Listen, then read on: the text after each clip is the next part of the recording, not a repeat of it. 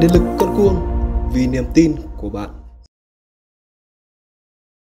Huyện Con Cuông có diện tích tương đối lớn trong tỉnh với 1.738 km vuông.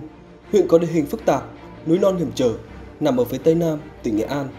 Con Cuông có đường biên giới Việt Lào dài 62 km, khí hậu và thời tiết khắc nghiệt. Trên 90% diện tích là rừng núi, còn lại là những dãy đất nhỏ hẹp ven sông, ven suối. Điện lực Con Cuông với tổng số cán bộ công nhân viên là 27 người, trong đó nam 23 người, nữ 4 người, được chia thành hai khối. Khối phòng ban bao gồm phòng kinh doanh, phòng kỹ thuật và khối tổ đội.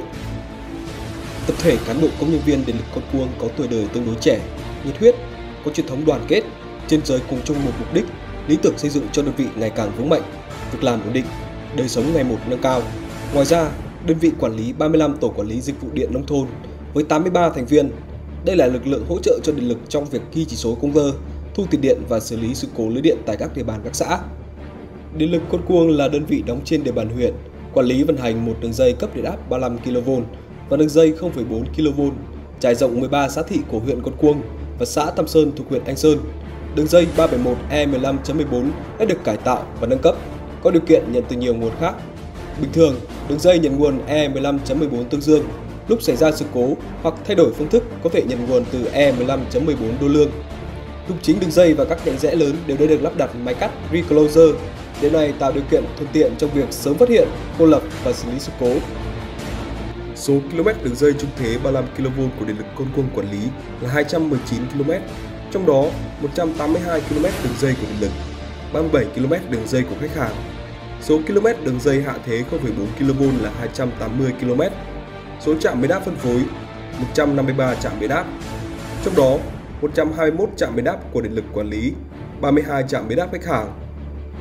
Số lượng khách hàng sử dụng điện trên địa bàn huyện là 21.520 khách hàng, với sản lượng điện tiêu thụ hàng năm đạt gần 32,8 triệu kWh, doanh thu đã hàng năm đạt gần 59 tỷ đồng. Mặc dù gặp rất nhiều khó khăn, thời tiết không thuận lợi, dân cư phân bổ thưa thớt, địa hình đồi núi phức tạp, rừng nhiều, công tác giải phóng hành lang an toàn lưới điện gặp rất nhiều khó khăn.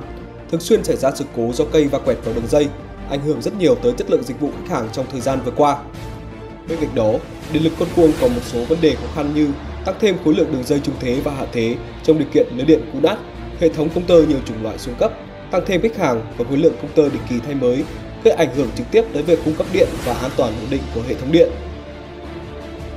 Tình trạng thời tiết diễn biến bất thường, nắng nóng kéo dài, khách hàng khối lượng quản lý, sản lượng đến nhận không ngừng gia tăng, trong khi lực lượng lao động ngày càng giảm, tuổi đời còn trẻ, kinh nghiệm nghề chưa cao trước yêu cầu đổi mới ngày càng lớn như triển khai văn hóa doanh nghiệp, công tác dịch vụ điện tử, số hóa. Tình trạng lưới điện quá tải cục bộ, sự cố lưới điện xảy ra tương đối nhiều, đặc biệt là đối với lưới điện trung áp 35 kV đi qua vườn quốc gia Pumat. Các sừng cây nguyên liệu ra khoán cho người dân trồng nên việc phát quang hành lang gặp rất nhiều khó khăn. Để đảm bảo cung cấp điện cho khách hàng một cách nhanh nhất đã ảnh hưởng tới rất lớn thời gian cũng như sức khỏe của người lao động. Nhưng được sự chỉ đạo và quan tâm sát sao của ban lãnh đạo công ty điện lực Nghệ An cùng các ban ngành địa phương trong việc tháo gỡ các khó khăn vướng mắc cùng sự nỗ lực quyết tâm của tập thể cán bộ công nhân viên điện lực Con Cuông đã đoàn kết một lòng vượt qua mọi khó khăn trở ngại, hoàn thành tốt các nội dung chỉ tiêu mà công ty đề ra. Về công tác dịch vụ khách hàng, điện lực Con Cuông luôn lấy khách hàng làm trung tâm, là động lực của sự phát triển. Lấy phương châm đó để phục vụ khách hàng ngày một tốt hơn, hiện đại hơn, chuyên nghiệp hơn. Chúng tôi không ngần ngại đầu tư khoa học kỹ thuật, công nghệ thông tin được áp dụng rộng rãi trong sản xuất kinh doanh. Không đứng ngoài xu thế phát triển của thời đại 4.0, Tổng công ty Điện lực miền Bắc đã thực hiện số hóa quá trình sản xuất và dịch vụ khách hàng trên nền tảng số, thay thế các công tơ cơ khí bằng các công tơ điện tử có chức năng đo xa để tiến tới minh bạch trong việc ghi chỉ số công tơ.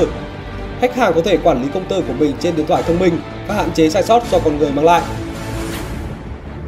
Đa dạng hóa hình thức thanh toán tiền điện không sử dụng tiền mặt như Smart Banking, ví điện tử Momo, VNPay, ZaloPay và ViettelPay để tạo điều kiện thuận tiện cho khách hàng.